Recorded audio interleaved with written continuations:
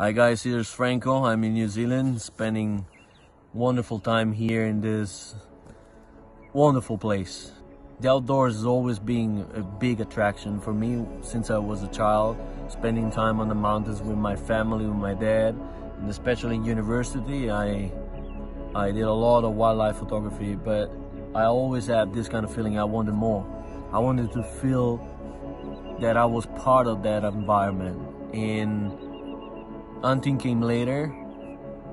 With hunting, I started to relate more with all the different organisms because I, I did have to understand more of what was happening out there to make an harvest.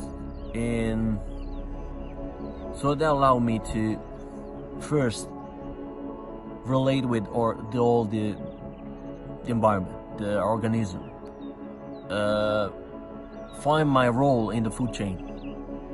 Third, study more the animal habits, uh, behavior,